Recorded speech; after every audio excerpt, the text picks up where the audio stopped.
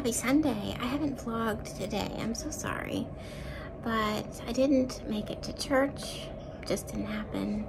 And then we went to lunch. My son came to town. My teenager was with him last night, so they came and we all went to lunch. It was very nice. And then we came home and I just kind of like crashed. You know, when you have a big meal and you're just like, where's the bed? I gotta lay down. So I've been doing laundry and it's in the 80s. It's gonna be in the 80s for several days. So I cut the air conditioning on. I can't take the heat this early in the season. I started Goodbye Vitamin by Rachel Khong. Is that how you say it? It's pretty good, super short. This one I heard about on a book podcast uh, last week, the week before. Pretty good. And it's written in almost like a diary format. It's about this woman, she's I think 30, and she goes home uh, to help her mother take care of her dad who has Alzheimer's. And there's humor in the honesty of life in this one. So I'm enjoying it. And it's the writing is super fast paced. And I seem to be in that kind of a a genre where I enjoy hearing about others other people's life stories, their um, struggles and triumphs over, you know, things. So that's what I've been doing. Not much. Having a good hair day. I find that when I have a good hair day, I don't want to do anything because I don't want to mess it up. Anyway, I hope you've had a good weekend. I don't want tomorrow to start because again, it will be hot. I think it'll be hotter tomorrow, like 85.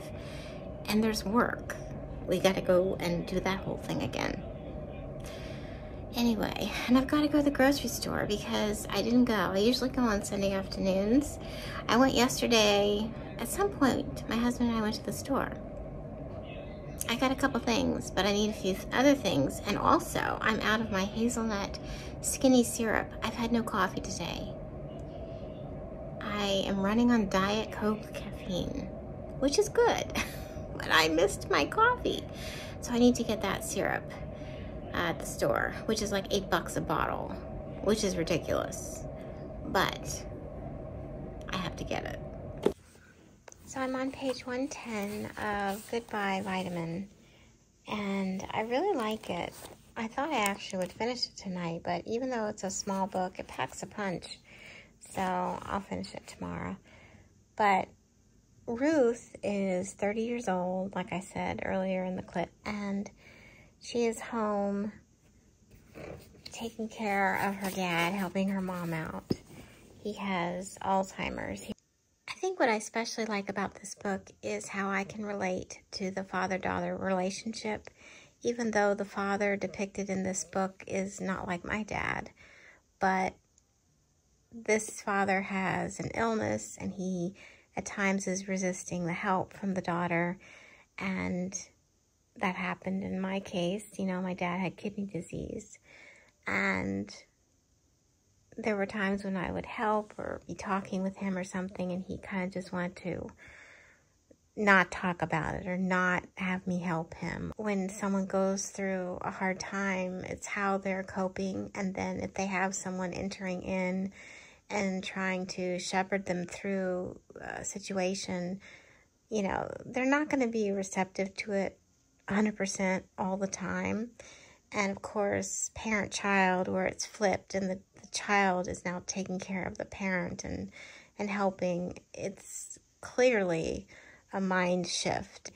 The father, you know, tries to keep in control and and you know remind himself and his daughter that he's okay you know he's got this he remembers this with my dad i was trying to get him to understand the importance of continuing the dialysis and going to it on a regular basis. And, you know, he knew it, he didn't want to be reminded of it. So I think that the basis of the book is comforting in a way because it connects me to the story and it also fosters memories of mine of childhood and growing up and and such with my dad as she's relating in the writing. She talks about her father. So I'm really enjoying it. I've been thinking about my dad a lot this weekend, and one thing that is such a standout about him, he was always there for me. He was always there. If I had a problem, be it financial or automotive or just life problems, he was always available. And I think it's hard on people when they don't have someone who is that support.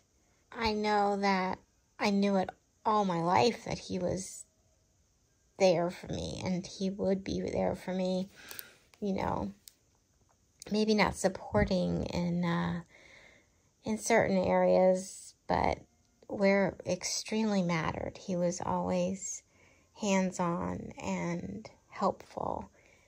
And I'm really grateful that I had that. And I hope that he knew that I really appreciated it. So I've got to get to bed. Got to work tomorrow, so see you then.